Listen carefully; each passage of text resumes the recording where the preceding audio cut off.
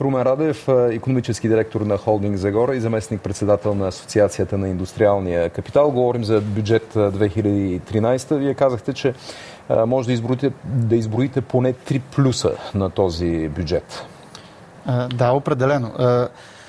Първо, което бих посочил като сериозен плюс, е, че подкрепяме това, което бюджета дефинира, а именно данъчна стабилност. Нямаме промяна, изменения в данъчните закони, което е нещо ценно. Обратно, дори има едно подобрение. Например, ще ви припомня, че изменението, което се предвижда в ЗКПО, предвижда облегчение за малки и средни предприятия, което е чудесно. Второ, при всички положения тенденцията за поддържане на дела за средства, които преразпределят бюджета под 40%, към този бюджет специално е 38,8 е отлична. Нещо, което винаги ще подкрепяме, защото това означава по-добра ефективност на държавната администрация и съответно е добър стимул за антикорупционно действие. Въпреки, че процента на преразпределение от държавата все пак е сравнително висок, но това е да, друга тема. Да, но сме били свидетели на бюджети, където преразпределението доближава 60%, така че Третия е плюс... сериозен плюс. Третия плюс е прогнозния е, дефицит. 1,25%, нещо, което ние също одобряваме.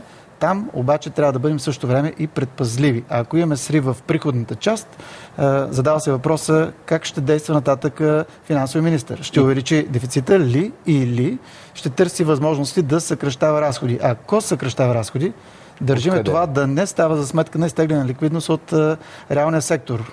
А тази ликвидност може да бъде изтеглена по много начини. Ако се забавя възстановяването на ДРС, например, или ако не се правят разплащания от страна на общини или пък на държавата по отношение на общински публични държавни поръчки и така нататък. И така стигнахте до минусите. Трябва да кажа, че вие утре ще участвате в Тристранния съвет, съвет, който ще разглежда проекто бюджета. Сега, какви са притесненията на, на бизнеса? До тук бяха плюсовете и нещата, които адмирирате. Откъде да започнем? От тази тема, за, която беше повдигната и дори от ДСБ днес, за минималните работни заплати по райони, въпреки че там кучето е заровено на друго място, сякаш за осигурителните При прагове. минималните работни заплати, да, това е, аз не считам, че това е в интерес на най-важната тема. Там по-скоро ще припомня, че смисленото и логичното економическо действие е минималната работна заплата да бъде секторно дефинирана тъй като очевадно е, че не е едно и също дали имаме заето лице в шивашка промишленост, например, на Ишлеме, или работещо на Ишлеме, или пък лице, което работи в метеорологичния сектор. Явно е, че трябва да има такова разграничение. На този фон минимална работна заплата регионално дефинирана намирам по-скоро като екстравагантна не винаги добре обмислена идея. Тоест проблема е в минималните осигурителни прагове. Определено. Всъщност, в интерес те се доближават те, те за, за вас са важни. Разбира се, те са важните за нас. А, толкова говорим за минимални, а какво ще кажем за максималния, например? Това е също един проблем. Ако някой решава да го увеличава нагоре, а, а, ние сме правили такава анкета, малко а, скоба правя, сред а, наши колеги, а, на практика те са изключително негативно настроени към една такава промяна, защото не разбират откъде на къде да плащат, примерно, повече за здравеопазване, при положение, че каквото и да платят през държавен бюджет за здравеопазване, те допълнително плащат на лекар, за да бъдат лекувани. Uh, така, затваряме тази скоба. Всъщност сега за притесненията ви.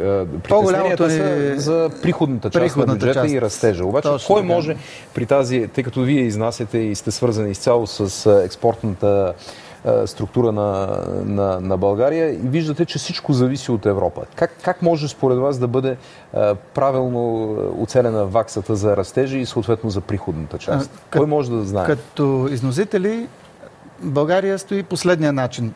Средно, и то за дълъг период от време, това е лесно може да се проследи в статистиката, между 1,6, 1,8 милиарда евро месечно, това е нашия износ. Да кажем средно 1,7. Прогнозата ми за тази година е, че ще постигнем около 20 милиарда евро износ, което е нивото на 2011 година. Нямам причини да мисля, че 2013 ще е по-добра. Тоест, по-скоро добрия вариант и сценарий би било да задържиме нивото на този износ. По-обаче лошото е, ако почнем да гледаме внимателно как се развива брутния вътрешен продукт на 3 месечия. Тъй като на годишна база 2009, 10, 11 година има позитивна тенденция, това обаче заблуждава. Последните 6 последователни 3 месечия, без изключение, имат обратната тенденция. От първо 3 месече на 2011 до второто на 2012 2,8, 2,1, 1,4, 0,9 и по 0,5 очевидна деградация. Сега, всъщност вие какво казвате? Че, Опасявам се, че за тази година... За 1,9 за идната година е непостижима ли на, на прираста на брутния Аз обикновено съм по-категоричен, когато работя с числа. Не мога да намеря никакво смислено доказателство или аргумент в подкрепа на тезата за реалност на 1,9 този бюджет си струва по-скоро да бъде разчитан на нива от порядка на около 1% в най-добрия случай, в по един позитивен сценарий, а е добре да се предвидят допълнителни буфери.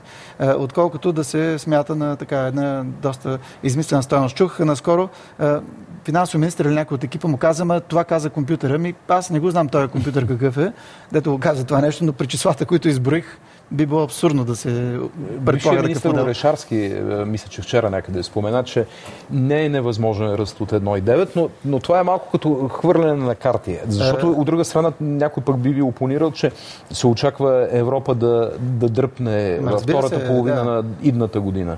Е, имам приятел, който казва, че невъзможно е само да се обува панталона през, врата, през главата. Е, всяко нещо сигурно е възможно, е, но дали е реалистично и с какъв процент на вероятност може да се случи, това е по-важното.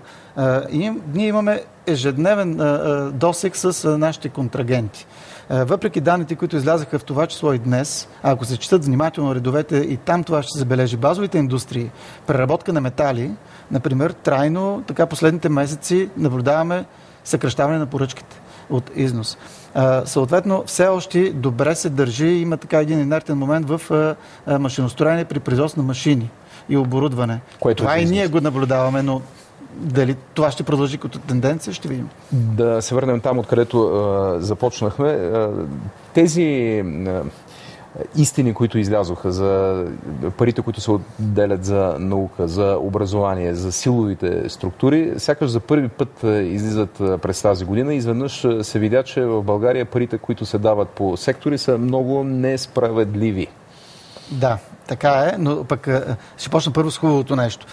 Добрата новина е, че това, което показва в момента бюджета, именно реално този вид секторни, държавни секторни разходи, поне ще ни отгоре на въпросите колко ни струва нещо, колко ни струва армията, колко ни струва полицията, колко ни струва образованието, което е ценно. Това е една стъпка напред.